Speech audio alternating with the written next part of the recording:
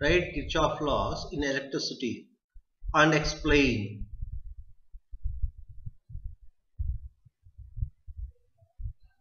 Kirchhoff's first law.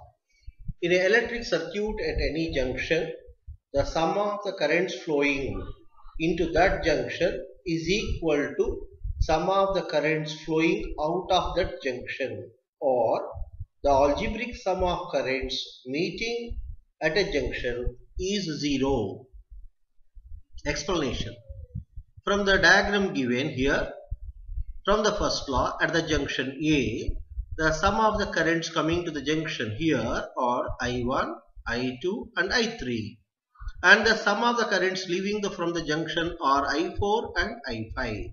Therefore, I1 plus I2 plus I3 is equal to I4 plus I5.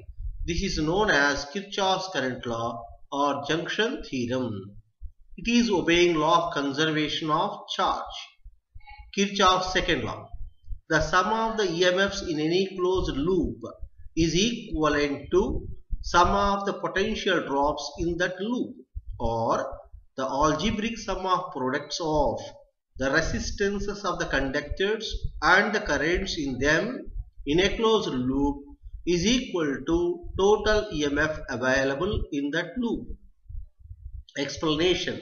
Here in the closed circuit given, the EMF E is equal to sum of the potential differences that is I1 that is I into R1 plus I into R2 plus I into R3. This law is also called a Kirchhoff's voltage law or Kirchhoff's loop theorem.